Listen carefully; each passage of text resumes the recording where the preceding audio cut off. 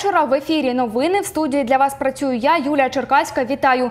Інформаційна картина понеділка, 12 серпня від журналістів телеканалу Відкритий для вас просто зараз.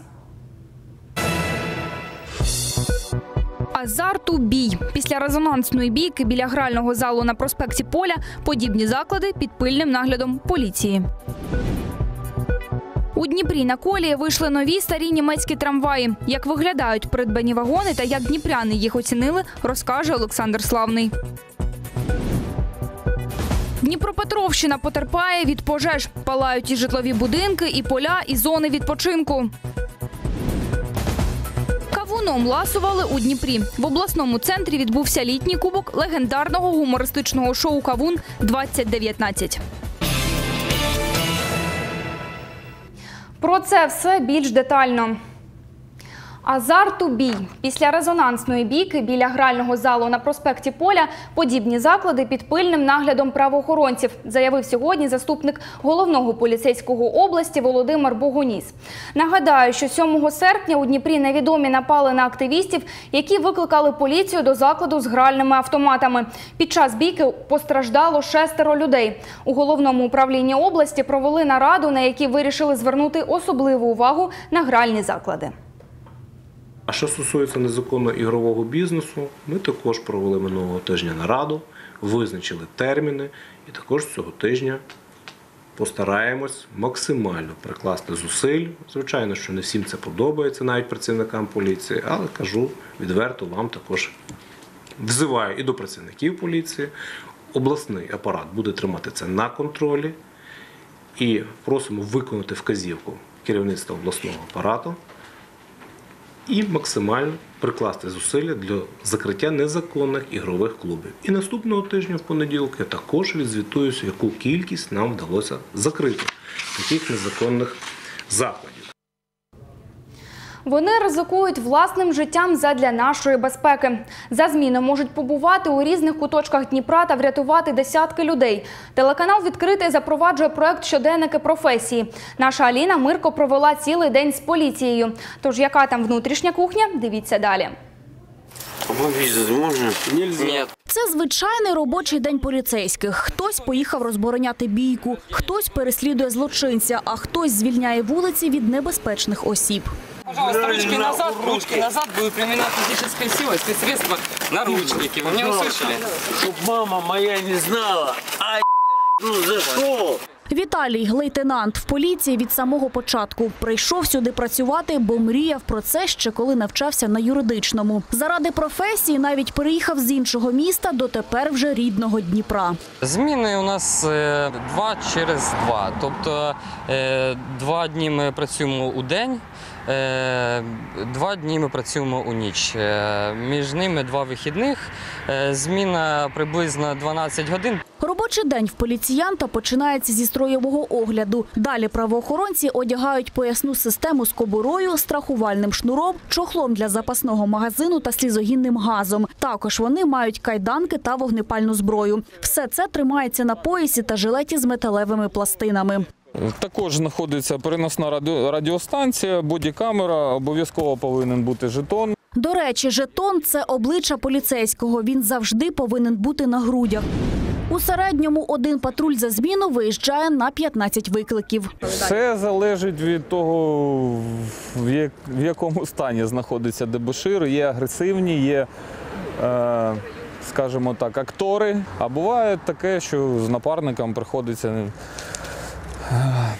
маленько попотіти. Кирило до свого нового життя був підприємцем. Та коли почув про створення нової поліції у Дніпрі, одразу подав анкету. Каже, з патріотичних поглядів. Та не лише розбоями, злочинами, переслідуваннями та затриманнями займаються поліцейські. Навіть на пожежі приїжджають. Перебуваємо на дані виклики для того, щоб е, е, надати можливу якусь допомогу, е, здійснити евакуацію та продовжити охорону місця події, щоб громадяни не проходили, не заважали екіпажам МЧС проводити свою роботу. Набір до лав поліцейських Дніпра відкритий. Якщо у вас є повна середня освіта, водійські права категорії Б, відсутня судимість, заповніть анкету та пройдіть відбір. Заробітна плата в поліції від 12 тисяч гривень. Аліна Мирко, Вікторія Машкіна, Open News, телеканал відкритий. Уже цього тижня у межах проекту Щоденники професії моя колега Аліна Мирко розповість вам, як лікар обласної лікарні імені Мечникова став оскароносцем. Іван Джердів отримав почесну нагороду орден святого Пантелеймона, який називають медичним оскаром. Якщо ви, ваші друзі чи знайомі представники незвичної професії маєте неабиякі успіхи у роботі, започаткували на вашому підприємстві небувалі ноу-хау, ми шукаємо саме вас. Зателефонуйте, і наша знімальна група приїде до вас. Номера телефону редакції каналу відкритий зараз на ваших екранах.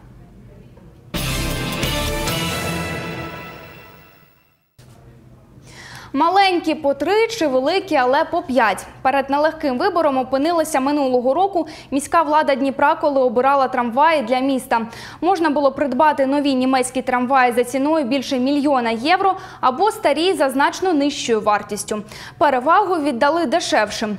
Як виглядають придбані німецькі вагони, як ними управляти та як дніпряни оцінили нові старі вагони, знає наш Олександр Славний.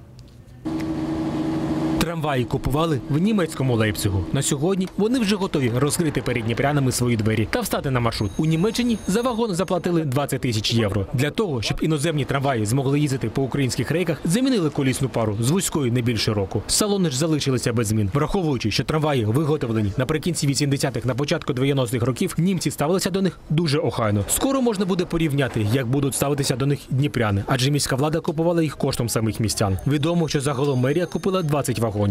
С учетом растаможки, доставки, э, реконструкции, стоимость одного вагона трамвая выйдет где-то порядка там 63-65 тысяч евро. Это вот в том состоянии, в котором они сейчас находятся. Денис працює водієм трамваю чверть століття. Нові придбані вагони обкатував із самого початку. Знайомив із ними колег. Нашій знімальній групі погодився показати, як управляти трамваєм. Для того, чтобы привести вагон в движение, нужно нажать педаль бдительности, снять тормозную педаль защелки, закрыть двери. Вот двери закрываются. И после этого только вагон может э, начать движение. Начинаю движение, вот он едет, останавливаюсь. Вагоны хорошие, нареканий у меня к ним нету, я их обкатываю с первого дня, как они появились в городе. Отличные вагоны. Утім, слова можуть бути одні, а на практиці все виглядати по-іншому. Тому журналісти проїхалися на трамваї до залізничного вокзалу, щоб перевірити все на практиці. Вагон ішов плавно, тихо гальмував. Ніяких нарікань на машину не було. на вокзал, вы там делали, ну как, заказывали электропривод и с подогревом слева. Разом із журналістами проїхався і заступник мера Михайло Лисенко, який власне і займався купівлею трамваїв у Німеччині. Чиновник, поміж іншого, дав характеристику стану трамвайних ліній у Дніпрі. Ради інтересу, коли ви будете їхати, смотрите, як э, трамвай 18-19, його отак от кидає, а на заднім сиденні невозможно находиться. Зупинка залізничний вокзал стала першою для нових трамваїв. Тут вони прийняли пасажирів, сівшись у салони та проїхавшись у вагонах, дніпряни дали свою оцінку придбаним мерією транспортним засобам. Мне очень часто приходится 15-м ездить, и приятно. Вы знаете, очень приятно в новом трамвае ехать. Удобно, приятно. Трамвай хороший, чистый, красивый, удобный. Сьогодні шість трамваїв вийшли на 11 та 15 маршрути міста. Михайло Лисенко зазначив, що і надалі Дніпро купуватиме трамваї в Лейпцигу. Олександр Славний, Дмитро Петрук, News, телеканал відкритий. Гарячі вихідні 10 серпня у Дніпрі на вулиці Голубино горіло приватне домоволодіння. Вогонь пошкодив дах житлового будинку та домашнє майно на площі 80 квадратних метрів.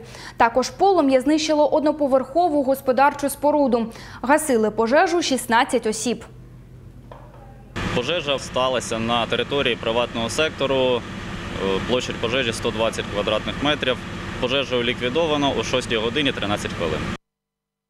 Вчора, 11 серпня, за декілька годин вщент вигорів двоповерховий будинок. До служби порятунку надійшло повідомлення. У селі Сажівка Дніпровського району палає будівля. На місце негайно прибули рятувальники та 5 одиниць пожежно-рятувальної техніки. З 7 ранку і до першої години дня пожежники гасили вогонь. Загиблих та постраждалих немає. По прибуттю першого відділення було встановлено, що горить двохповерхова будівля. Е, Площа пожежі складає 150 метрів квадратних. Е, Відразу було залучено додатково ще три відділення. Через спеку та необережне поводження з вогнем горять і поля, де зараз проходить збір урожаю зернових. Періодично палає також у лісосмугах та зонах відпочинку. Рятувальники звертають увагу громадян на особливу небезпеку літньої спеки та просять під час відпочинку не забувати про відповідальність. Кажуть, саме обережне ставлення та розуміння наслідків кинутого в суху траву недопалку, що ще тліє, допоможе уникнути масових пожеж. Найбільша кількість виїздів пов'язана з пожежами, це обумовлено і погодними умовами, які становились на території області на сьогоднішній день, попри ті незначні е, опади, продовжують е, зростати кількість пожеж, що пов'язана з горінням сухої трави, сміття на відкритих територіях. Тільки в спогадах класиків Дніпро лишився широким та могутнім. Він вже не реве, а стогне катастрофічно міліючи. Крім того, за роки незалежності в Україні зникло понад 10 тисяч малих річок. Усі ці фактори позбавляють Дніпро можливості самоочищатися. Вода в каскаді дніпровських водосховищ нагадує коктейль з усієї таблиці Мінділеєва. Отрута замість води. Рівень забруднення річки Дніпро досяг критичної позначки. Державне агентство водних ресурсів України повідомляє, Дніпропетровщина стала лідером за рівнем забрудненості води. Телеканал відкритий запускає серію спецрепортажів про екологічний стан річки Дніпро. Дивіться завтра о 19 годині в прямому ефірі Open News. Невтішна дорожня хроніка далі. У Дніпрі автомобіль швидкої влетів у вантажівку. Постраждало п'ятеро осіб. ДТП сталося 10 серпня на перехресті вулиць Байкальської та Образцова. За попередньою інформацією, швидка рухалась вулицею з увімкненим звуковим сигналом та проблисковими маячками на червоне світло. У цей момент автомобілю швидкої не поступився місцем водій вантажівки. У результаті чого швидка перекинулась. Усіх потерпілих негайно доправили до лікарні. Сьогодні речниця патрульної поліції Дніпра відзвітувала, кількість ДТП на дорогах міста зменшилась. Однак в аварії часто потрапляли спецмашини. Тому поліція звертається до водіїв із проханням бути уважними та пропускати автівки з проблисковими маячками. Ми минулого тижня проводили профілактичний рейд з ДСНС, були такі непогані результати, але тут, як виявилося, такий прикрий випадок. Сталося ДТП 10 е, серпня близько 19 години вантажівка протаранила е, автомобіль швидкої допомоги. Нагадуємо ще раз про те, що е, пункт правил є 3.2. Це пропуск спецтранспорту. Тож водії, будь ласка, дотримуйтеся його. Ледь не щодня влітку в дорожній хроніці ДТП за участі велосипедистів. Проблема, кажуть експерти, у тому, що в обласному центрі дуже слабко розвинена відповідна інфраструктура. Однак, наперекір усім негараздам, дніпровець Роман Завада виборов перемогу на відкритому чемпіонаті України з велоспорту на шосе серед ліцензованих спортсменів Мастерс. Чоловік посів перше місце та став чемпіоном України. Секретами своєї золотої перемоги спортсмен поділився з нашою Катериною Нічик. Роман займається велоспортом близько семи років. Згадує, розпочинав з любительських поїздок на роботу, а згодом просте захоплення переросло в улюблене хобі. Тепер же чоловік переможець багатьох змагань, а нещодавно здобув перемогу на всеукраїнському чемпіонаті Мастерс. Радость, конечно, была, я не буду скрывать, это действительно это очень большое достижение, когда среди нашей э, большой Украины именно ты побеждаешь в таких престижных соревнованиях. Но не скажу, что я не чувствовал, что я к этому не готов. Э, Когда я подходил к соревнованиям, я приложил очень много усилий, полгода я целенаправленно готовился только под эту гонку, ежедневно. Каждодневные подъемы в 6 часов утра, ежедневные тренировки. Э, Поэтому это, в принципе, было очень закономерно, скажем так. Но я очень рад. Та попри значні досягнення у велоспорті, чемпіон акцентує увагу на проблемах, що переслідують кожного велосипедиста. Каже, досить часто водії не звертають увагу на тих, хто пересувається на двох колесах. Від цього травми, а іноді навіть летальний кінець.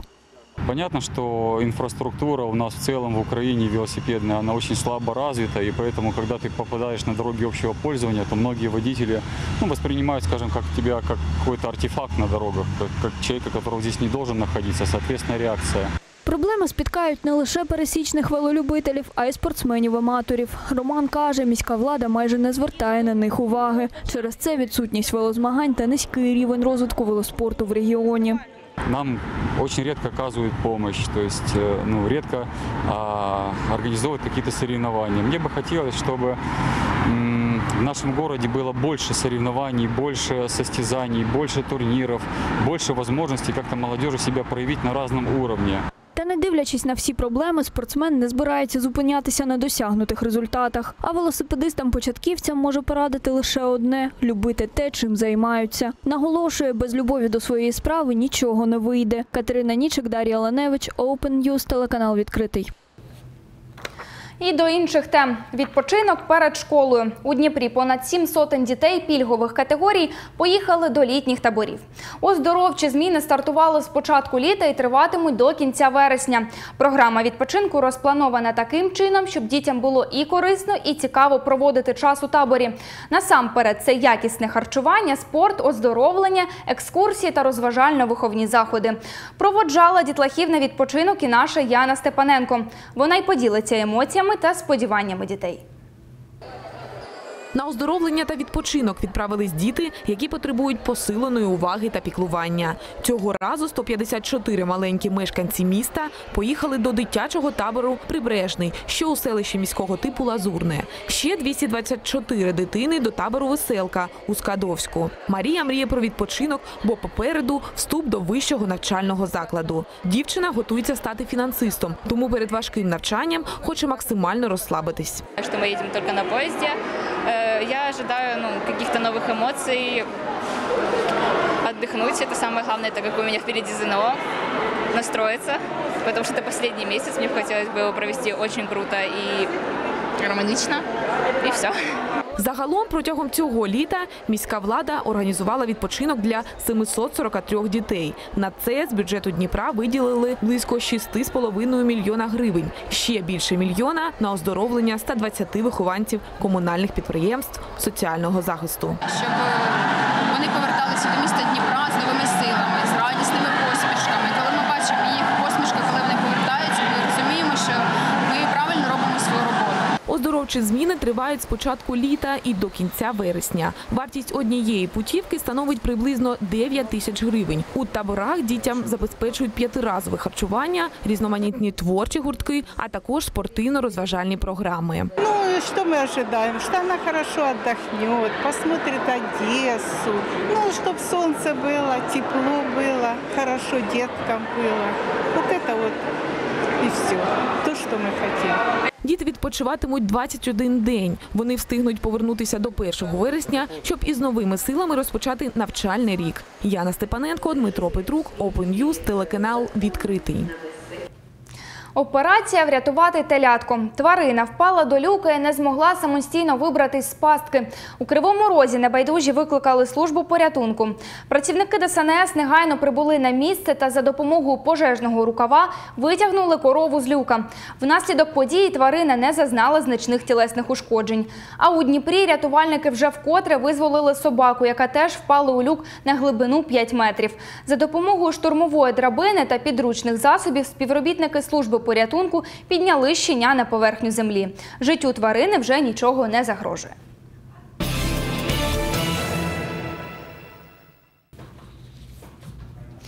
Цілому проблема із безпритульними тваринами у Дніпрі вирішується ну дуже вже повільно. За підрахунками експертів, у 2016 році у нашому місті було близько 5 тисяч безхатьків. Та вже у 2018 році ці показники скоротились вдвічі. Але не тому, що люди перестали викидувати тварин, і не тому, що до вирішення цього питання взялась міська влада. Це результати роботи активістів. Наразі у Дніпрі існують організації, які займаються лікуванням та прихистком для тварин, які опинилися на вулиці. Ветеринари запевняють, що найголовніше стерилізація, адже безпритульні тварини можуть переносити різні захворювання. Експерти рекомендують, якщо ви знайшли тваринку та хочете їй допомогти, краще викликати зоозахисників. У такому випадку ви й допоможете їй і точно не підхопите хворобу. Очень много вирусных заболеваний, которые переносятся кошками и собаками, но мы можем не болеть. Э, люди, но страдают также хозяева животных, потому что им потом приходится их лечить, своих животных. И есть такие заболевания, которые э, э, болеют, болеют заражаются люди. В первую очередь это бешенство обязательно. Как раз еще вот хотела отметить, что когда мы стерилизуем бездомных животных,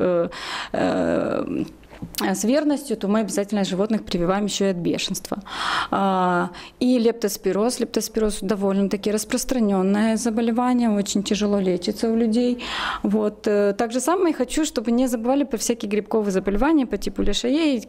Все коты, бездомные и котята являются носителями этих спор, то есть э, так же самое нужно следить Наша Тетяна Ісак більш детально розбирається у ситуації з безпритульними тваринами у Дніпрі. Тож е, спецрепортаж дивіться вже у найближчих випусках новин на каналі Відкритий.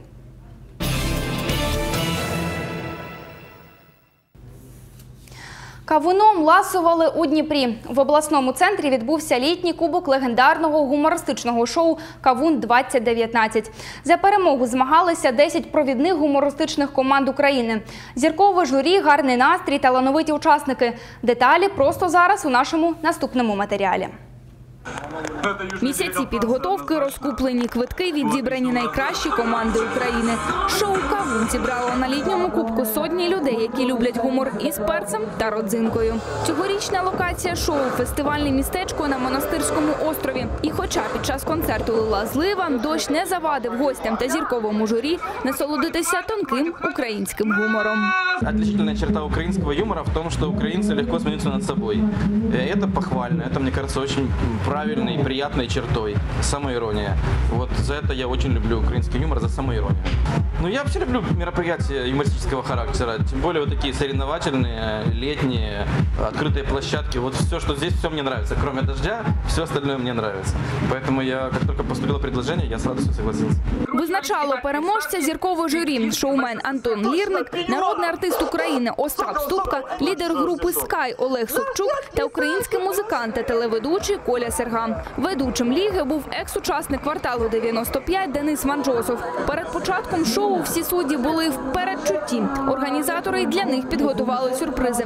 Тож усі налаштовувались імпровізувати. Е, Головна новинка цього е, літнього кубку це виступ зірки на сцені. Наприклад, е, Олег Савчук буде співати. Наприклад, Антон Лірник буде теж співати його пісні. Остап Ступка буде показувати театральні етюди.